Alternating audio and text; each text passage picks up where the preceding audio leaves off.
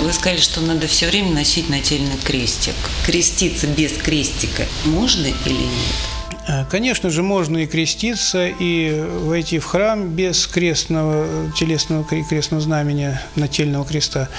Но э, вот здесь можно вспомнить русскую поговорку, которая определяла людей, которым нет доверия. Креста на тебе нет, обычно говорили на Руси, тем людям, которым не доверяли. Вот э, человек без креста нательного, вот он подпадает под эту нашу русскую поговорку, и, конечно, чем быстрее человек оденет крестное знамя себя, тем лучше для него, тем быстрее он будет защищен от э, нападок бесовских и злых людей. Но в храм и креститься, конечно, все это можно делать. Войти в храм и покреститься, никаких проблем в этом нет.